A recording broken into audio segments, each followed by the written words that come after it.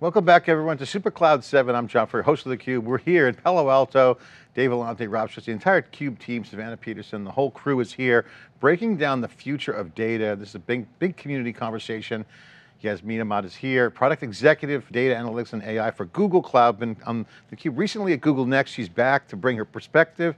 Yasmeen, thanks for coming back on theCUBE for this special SuperCloud 7, getting ready for the next data platform.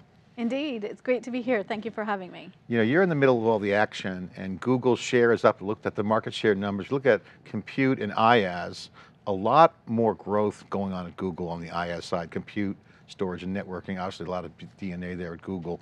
But the data conversation is mm -hmm. happening, a lot of people hosting a lot of data on Google, but not just Google, multiple clouds. So the idea that distributed computing now has become the normal standard people are striving towards, which is great because that's what computing is.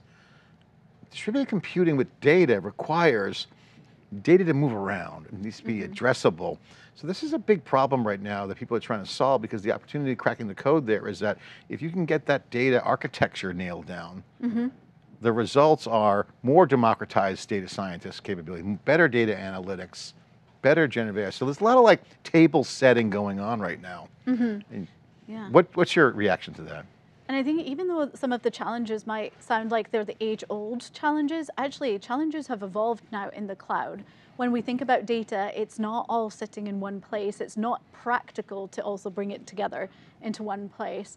In fact, when I look at our customer base, every large enterprise is multi-cloud you, whether you intentionally chose it or it happened to you. You know, it's mergers and acquisitions. It's the fact that you've used a SaaS application mm -hmm. that's now generating data on Google and Azure and, and, and AWS. And so this idea of really being able to connect data and leverage it for GenAI is top of mind for the, the execs I speak to. And particularly with GenAI, until you don't have a great data foundation with all types of data, these GenAI models are hungry mm-hmm. for data, for training, et cetera. So being able to connect that data, no matter where it lives, mm-hmm. bring it together, so important. You know, one of the things that we talked about at Google Next, I remember we had this conversation about open data formats as well as mm -hmm. some of the AI stuff that's going on, especially with the developers. If you look at the data market right now, um, it's certainly evolved from the old school data warehouses to data cloud. Yes. Okay, so data warehouse in the cloud, check, been there, done that. Snowflake, really leverage that heavily. Mm -hmm. Now with the Databricks growth and Snowflake kind of retooling on their side, a lot more emphasis on developer, machine learning, AI, now Gen AI. But you're starting to see the formation of two things, the old school analytics, which has been around for a while, yes. you know, and so, but it's still changing and relevant. And this new data engineering category, mm -hmm. that's what we call it. So we did a survey and I just want to share this with you and get your reaction to one that and also the developing categories uh, data storage and warehousing. Big popular area, mm -hmm. Snowflake, uh, Teradata, a bunch of other ones, Google, you guys have the stronghold there. Um, transforming data, okay? Um, visualizing data, mm -hmm. ad hoc data analysis, and then building apps on top of data lakes yes. or data platforms. Mm -hmm. And then the new categories, this is where new emerging control points are happening. The AI ML piece and the data catalog management yes. are rocking and they're changing. Those are potentially swing categories that could change the landscape. What's your reaction to all that? So 100% agree with, with those trends that we you're seeing in your uh, survey. So like we, we like to say at Google that actually every GenAI problem is actually a data problem to be solved. Yeah. And so getting that data in shape. And the challenge has been as we get into GenAI and now multimodal GenAI, images and video and other modalities, actually you've got to feed those GenAI models also with multimodal data. So though, today when we describe the AI-ready data foundation, it isn't the data warehouse of yesterday, it's a multimodal data foundation that can handle PDFs, documents, images, sensor data, all in one place. But critical to those catalogs and those trends we're seeing is you've got to be able to hmm. manage all of that data. And it, you can't have different management mechanism, metadata for your unstructured data, for your PDFs, is your structured data. For, for enterprises and companies, they need a single access control plane. They need a single, single governance control mm. plane, a single catalog. And so that's really what we're focused on at Google is how do we provide that ease of an AI-ready data foundation that comes with that single control plane where actually that data foundation supports all open formats, Yeah. whether it's Iceberg, Del- Delta, Hudi, because data today lives everywhere and it needs to be interoperable, it needs to be movable. It's interesting you mentioned Hudi. Uh, we had Onehouse on here, founder, former Uber um, architect, actually created the first lake house idea at Uber, but then you know they didn't commercialize it, and then actually Databricks jumped on it with Spark. But the idea of a lake house or a data lake or platform is to bring together multiple data systems, mm-hmm. whether it's a columnar store database, Yes. mixing with some SQL, and then bringing it together and writing some glue layer between them. Mm-hmm. And I'm oversimplifying it, but that's the idea where it all started. How does that look like today? Because the reality of today is applications need to get data super fast, mm-hmm. very low latency, and be intelligent, which means they got to know is their data available. Yes. And if it's available and they can't get it in time, the app doesn't do well and hallucinates. So this kind of new architecture seems to be right front and center. Is that the way you see it? 100%. And we talk about unified platform today. So our BigQuery um, offering has actually been on a journey. And just at Next, we launched the unified platform BigQuery. And actually today, BigQuery now contains multiple engines underneath it. And the reason for that is exactly as you described. You've got that single AI-ready data foundation, but mm. actually what customers and users and data engineers and scientists are looking for are different ways to access and process that data. Not everybody is using SQL, not everybody is using Spark or Python. So you, we need those multiple engines to accommodate BI workloads, to accommodate engineering workloads, for AI machine learning workloads. And that's really changing the paradigm of what a data platform architecture looks like. So talk about the role of data engineer because now we're getting into the kind of the, the I'd say the changing roles inside an mm-hmm. organization and obviously team building, team chemistry is big on teams, but also the persona of the new role may or may not be developed now, Gen AI could help. But the old school data analysts, they built products like dashboards. Mm-hmm. Now the product conversation is, how do I organize the data or data engineering happens. Now I don't think they're mutually, I don't think they're one without the other. I think they both exist. How do you see productizing data evolve? Because, and then how does BigQuery, for instance, solve that problem? I mean, I mean, how do you create a product around data? Yeah, very interesting question around how are the roles evolving and then how is data being seen as an asset, as a product within organizations.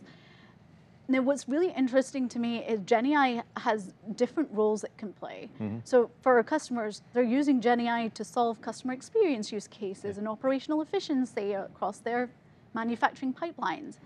But actually, internally at Google, we're also seeing a use case around GenAI for actually supporting those data teams and actually helping the emergence of the future data team, where data engineers, analysts, scientists, the roles are evolving. So with GenAI assistance mm-hmm. and now more agentic-like capabilities, mm-hmm. you actually have GenAI that's able to support that entire end-to-end data to AI workflow. So today you've got GenAI that can do synthetic data generation better than humans can do. You have GenAI that can build data pipelines, monitor those pipelines, look for anomalies, detect insights, bring them to mm-hmm. users. And so we really see as uh, we bring what we call Gemini in BigQuery as this assistance that is always on, that 24 7 always on assistance. It really changes the game for those data teams. Talk about how that uh, evolves. I, I like what you said there because we'll get into the agentic, the agent side. I've been a big fan. I said this at Next. I think I was yelling at the top of my lungs all week. Agents are the killer app in my opinion because it frees up people's time. But if I'm a data person and I'm playing with SQL, I'm doing some, you know, a lot of programming around the prompts and, and SQL, and now I pick my head up in the past year, the whole world's changed. Yes. How do I get involved? Like, what do I do? Do I just download BigQuery? I want to take advantage of some of the new Gemini stuff. What, what is someone that wants to kind of cross-platform skills develop their, mm-hmm. their, their base do? I mean, sometimes it's just they're, they're in the silo and everything's in, every hammer looks for a nail. Mm-hmm. I'm a SQL guy, gal. I want to, I know SQL. Now I don't know unstructured data. So how does someone move into, say that this new emerging, I call horizontal data play? Yeah, really good question. And actually, I have to admit, a couple of years ago at our, our events at Google, what we heard most from customers as GenAI just started to um, take hold was Google, you're doing so much innovation, but how do we adopt all of this innovation? It's there's just so many new features, so so many new capabilities. So what we've spent a lot of time doing is actually creating a combined data to AI stack, all the way from the foundational infrastructure layer to the to the models, to Gemini, to the AI platform with Vertex, to the data platform with BigQuery, to even the BI platform with Looker. And the goal is actually GenAI should not be hard to adopt. It should show up in the surface where the user is. So if you're a SQL user, that assistance is in your SQL panel as you see it. If you are a BI user, again, Gemini or that AI assistance shows up in those um, dashboarding environments. Uh, there's new conversational interfaces that are now being blended in. So I very much see it as GenAI is not this other technology or tool like we've traditionally seen that you have to go mm-hmm. install and learn. Yeah.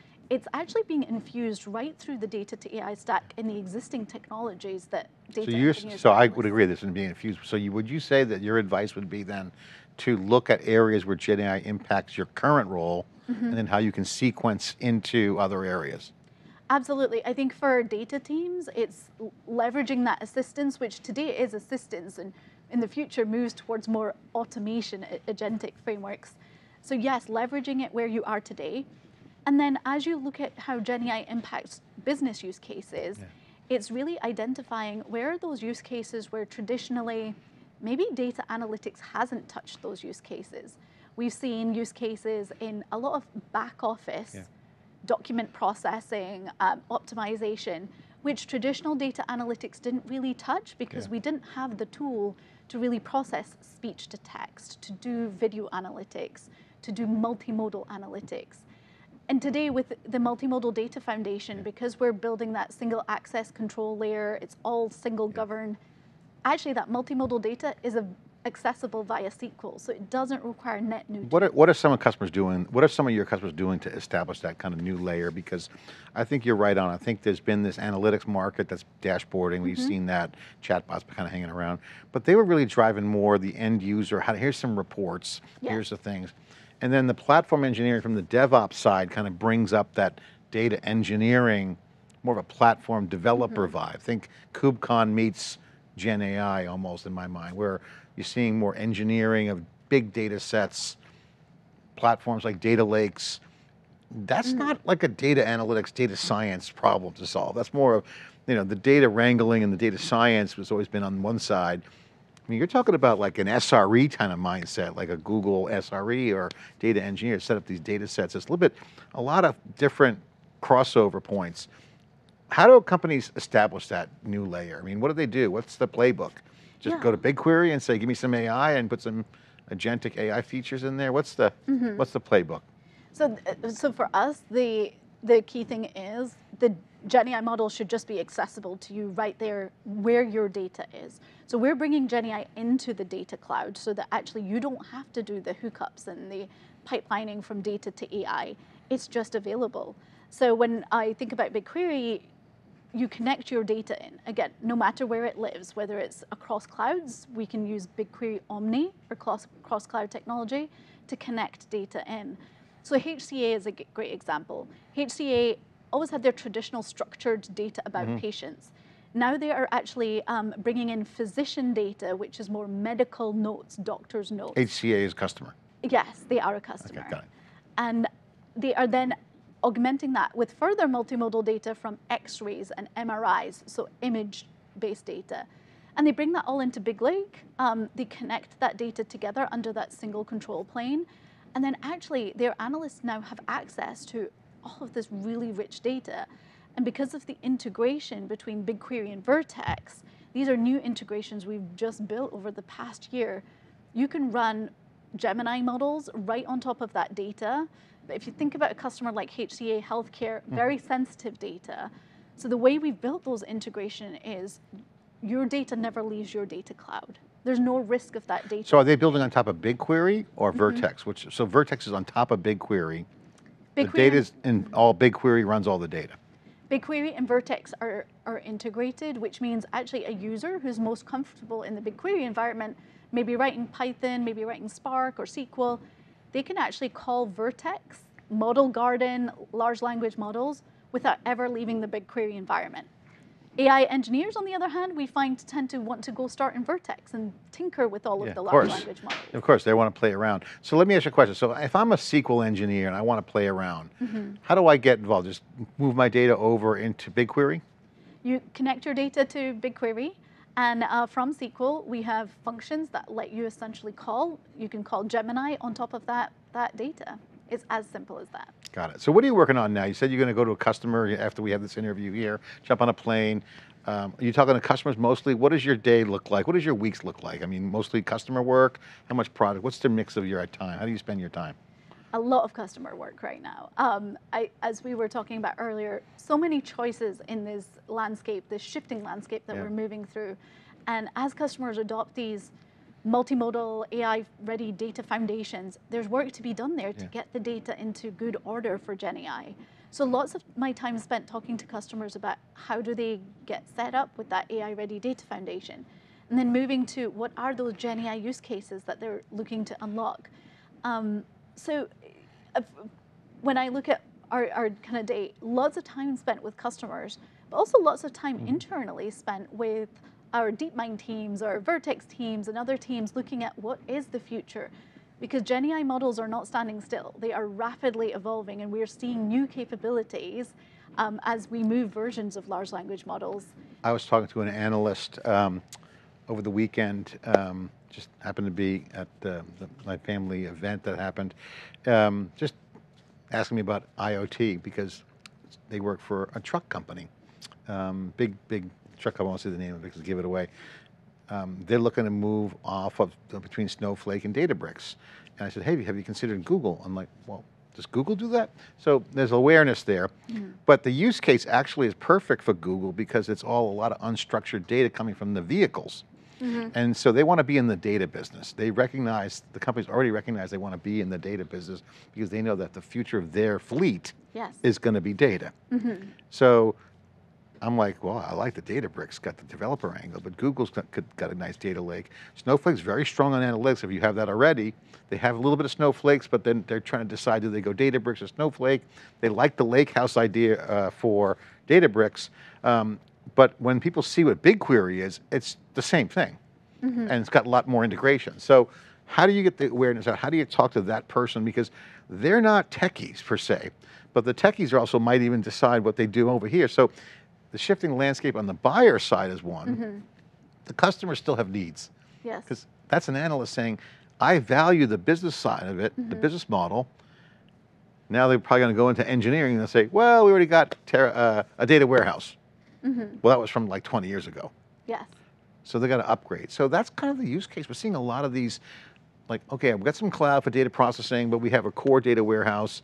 So the things like controlling the, the, the, the, management side of it, the governance, mm-hmm. become either bottlenecks Yes. or accelerators. Mm-hmm. How do you see that evolving for those kinds of customers that are that are really at the point where they're making a business decision like we're going to be out of business if we don't reset? Yes. That's what's happening. Mm-hmm. Like some of them just have been kicking the can down the road. Mm-hmm. Finally, go okay. If we don't move now, we're going to be out of business. And some have bet on something, but might want to transition and add something else to it. What do you see? What do you, what's your reaction to that? And what would you say the market is right now? Yeah, so we are seeing a lot of that in the market. So firstly, we're seeing a massive actually shift again from on-premises into cloud. It had slowed down last year, but actually now with GenAI and GenAI being really in a cloud game, we're seeing a huge shift from legacy on-premises uh, platforms up into the cloud. So lots of customers doing that, but also even customers who had moved previously to the cloud, maybe early adopters of the cloud, had taken certain decisions, now reevaluating because GenAI has changed the game. Where customers aren't just use, looking for a lake house like BigQuery provides, they're looking for a lake house that can be AI ready with all of the integrations and can do it at speed, efficiency. They're thinking about cost. They want the full data to AI integrated stack. And so you know, as I speak to customers who made decisions earlier in their journey, they're actually re-looking at some Yeah. of those decisions to say, what's the right technology for me now moving to the future? How do I not get left behind in the Gen AI game? And who's delivering that innovation that will keep me ahead? I, I want to say that I'm, I'm hearing the same thing, and I want to get your um, additional comment to the cost side too, because that's mm-hmm. also a driver. Yes. You know, I'm spending way too much on compute, I don't need to. Or I need more GPUs, but I don't want to over provision. So what are you seeing on the infrastructure side? Because that's now the, where the action is. The data is coming very fast, but Yes. we're seeing all the pressure points on understanding compute, networking, and storage, and when it's fitting for the use cases in Gen AI. Yes. What's your take on that? So number one, the models are fast evolving, and we we uh, expect even internally the infrastructure is getting cheaper, the models. So the whole landscape is going to change in terms of the cost of Gen AI itself. But also, as we've done benchmarking, one of the reasons why we focused on that integration across data to AI is we see huge efficiency in that. When we've benchmarked BigQuery against other data platforms in the market, we see actually 4% better perform, four times better performance, and three times better cost hmm. of actually having GenAI models close to the data executing. You don't have the latency of data movement mm-hmm. between your data cloud and a GenAI model, but also the security concerns and the and the complexity of having Yeah. to build pipelines. That all adds cost. Mm-hmm. So that's one of the reasons as we look at our strategy, a big focus is that unification, it's that simplification. How do you create an architecture that really benefits from Yeah. what Google's strength has always been? And the integration, the integration of the different components gives operating leverage Mm-hmm. and also flexibility as things become more programmable, like give me more compute for these reads or writes Yes. than I need here, or in storage or networking, move packets around, moving data around. Yes. The infrastructure is behaving differently, Mm-hmm. so it has to be programmed. yes. That's a big part of what Google's doing right now. A hundred percent. And we are doing it not just for customers who want to use our data to AI platform, but internally in Google, we have many services that actually run on that mm-hmm. same data to AI technology. And so for us, you know, that Google's foundational technology layer is where we do a lot of innovation. And for, for, for me, customers should not have to think about that. That should that's going to be a problem that is abstracted away within the architecture, the infrastructure. They should just worry about their business use cases. Yasmeen, it's always great to have you on theCUBE. You're very knowledgeable. It's great to have the perspective. You know the product, you know the strategy, you talk to customers. For the folks watching right now, whether it's that IoT person with the fleet or someone in a large enterprises that's now going to transform very quickly to an uh, established web uh, and cloud native developer team, what's the pitch? What's your pitch to them? What, what plug would you give for Google AI and analytics? What's the story? How, what, how would you explain the value proposition if you had to put the plug in? Absolutely. So for me, GenAI is really changing the game for data and analytics. If I look at the full spectrum of how traditional teams have worked to get insights across the organization, it has been highly manual, highly laborious, and yet there's many business users with many questions that remain unanswered. I spoke to a customer who said they had 16,000 dashboards across the organization, yet they felt insights poor. GenAI is going to change the game in this space. With some of the new conversational analytics experiences that we are launching, you see GenAI actually using the human natural language interface to let any business user with a question be able to get answers.